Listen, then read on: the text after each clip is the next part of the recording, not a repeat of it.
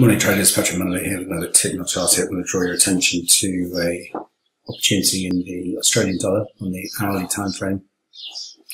We uh, broke through uh, support zone yesterday in the Aussie dollar through the 76.80.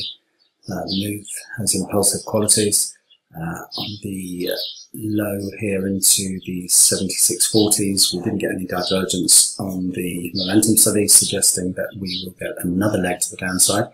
So I'm looking to play a wave 5 extension and equality objective versus uh, wave 1.